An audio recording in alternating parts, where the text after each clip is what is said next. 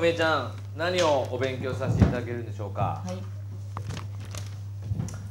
もうね毎週毎週このねふめちゃんの市場なのね楽しみで楽しみでしょうがないですよ。絶対嘘でしょ。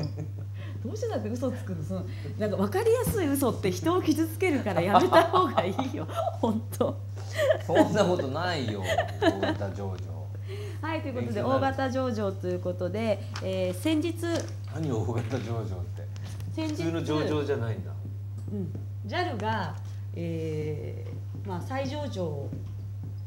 JAL って一回倒産してるじゃないですか、はいはで JAL が、まあ、東京、えー証券取引所第一部に、えー再上場したんですけど、まあ、そもそも倒産をした時に、えー、100%、えー原資と言って、はいまあ、言ってしまえばもう株券の価値はゼロですよと。は100%減資ね、はい。減る資産のい。資なので、はい。えーだ株主の人たちはもう株株券が紙切れになりました、なっていうのと一緒なんですよ、うんうん。普通の上場廃止ではなくて100%で減資の倒産なの。ってことはねよくもまあイケシャーシャーと再上場っていうわけっていうお前破綻して違う会社だろもうっていう。私のえじゃあさその時持ってた株券は再上場ってこと全然関係ないのダメなの？関係ないですよ。関係ないんだ。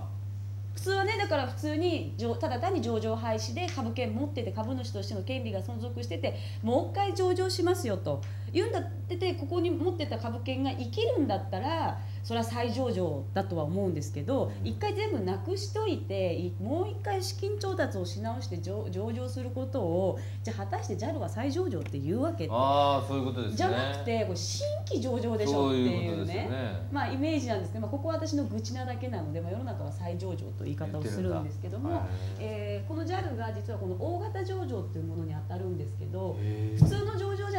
まあ、はい大きい、うん、大型ですからね。そうまあ想像に足る大型だと 思うんですけどあただこれね明確な決まりがなくて、は例えば、えーえー大型上場の定義っていうのが、まあ、基本的にはないんですよ。えー、とだからうーまあ、時価総額っていう言い方をそう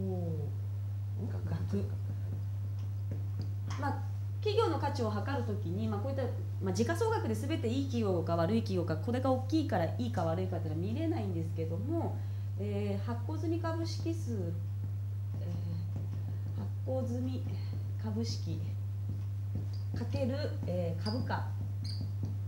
っていうのでこの時価総額っていうのを測るんですけど、はい。これでまあ会社の規模を見ましょうねっていうこの規模が例えば大きかったりとかそれから誰でも知っているような知名度のある企業、まあ、JAL だったりとかもそうだと思うんですけどもを大型上場っていう言い方をします。そこに明確なここからここまでは大型ですよとか、うん。っていうのはないので、まあ、何をもって大型かっていうかわからないんですけど一応こういった規模の大きさ、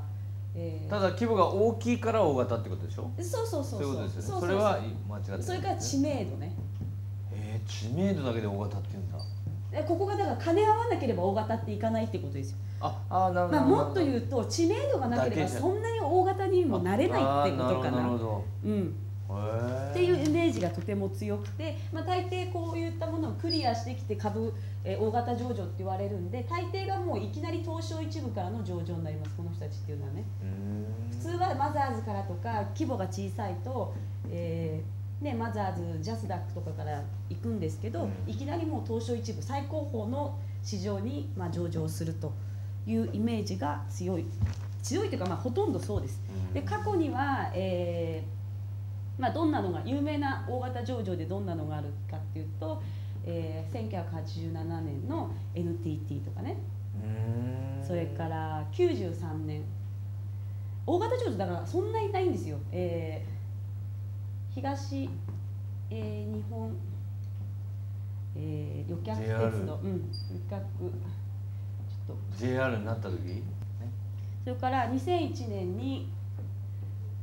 マックとかねそれから最近で一番、知らそうなんだ、うん。えっ、とまあちょっと大型でかなり騒がれたっていうと、えー2010年の第一生命の時なんかにも大きなニュースに、えん。ー第一生命保険がねうん。上場した時もすごい、えーまあえっと騒がれたんですけどあなんとなくというかイメージ的にははい。こういったものを大型上場の時に買う人って、まあ、いるんですけどはい。いまいち株価っていうのは振るわないっていうイメージ。へでなんでかっていうとあの上場するっていうことは、まあ、資金調達だったりとか、まあ、知名度アップだったりとかそれから上場することによって知名度がアップするから雇用の効率とか競争力の強化とかっていうような、えーメリットがあるんですけどもう出来上がってるんだよねこの人たちって。うん。だからどっちかっていうとじゃあ資金調達散々、まあ、今回の、えー JAL なんかもそうだけどもだいぶしてるよねって再生機構からとか国からとか散々パラやってる中で逆にね資金調達のために企業っていうのは上場して株式市場を効率化させ効率よく使っていくんだけども、し資金回収のためにどっちかっていうと上場するイメージが私的な部分ではすごい強いんですよね。だから上場とともに売りさばくやつらがいっぱいいる。まあ、それで大型ですからそれなりにいろんな人に株券が渡るんですけどその中にはそれこそ再生機構だったりなんとかっていうその大きなところが持っててその人たちがその出資したものを回収するための上場みたいなイメージが強くてだから大型にして株券いっぱい吸って一般人にも全部渡して資金回収するみたいなイメージが強くて株価っていうのは、え今回、えーちょっとか正確な価格はちょっと忘れちゃったんですけど JAL の場合はちょっと一瞬だけ上がったの上場して。一瞬だけ上がってブワって下がって今ちょっと戻ってこのぐらいかな。けどなんか言えることはあまり大型上場っていうのは私は手を出さない方が投資家の人は手を出さない方がいいあっていう。さっきみたいな売りも上場した瞬間から売り物がすごいしもう出来上がっちゃってるからそこにはい。例えばちっちゃな会社が頑張ってやっとマザーズとかジャスダックの上場基準に満たせてこれから、えーどんどん伸びていきますっていうよりかはもうこんな大きいものが出来上がってしまっている中で、はいはいはい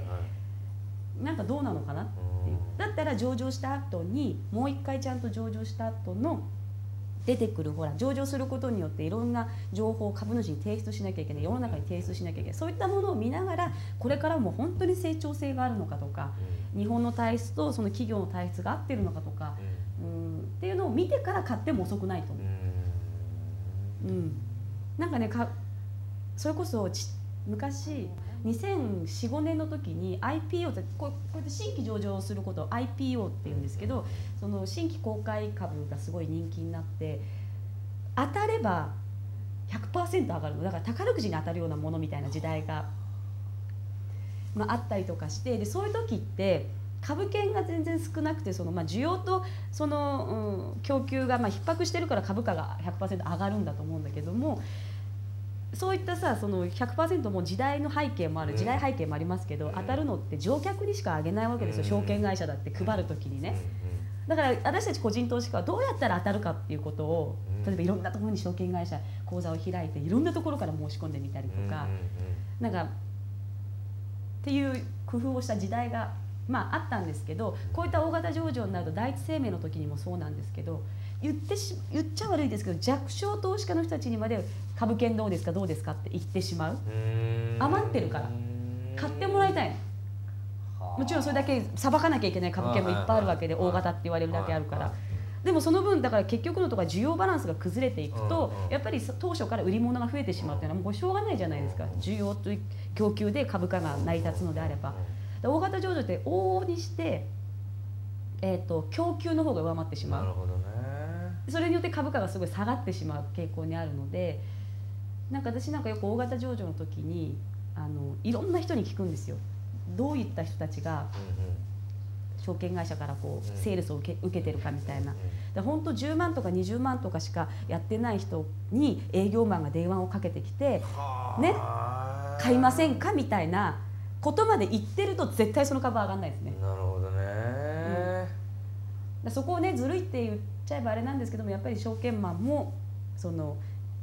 乗客に渡して渡す傾向があるそういったものを見ると今の株券のその需要がどういう状態にあるのかっていうのが分かる。うん。だ欲しいなと思う大型上場が今後あったとしたらそういうところを見てもらって買うか買わないかを決めてもらうと、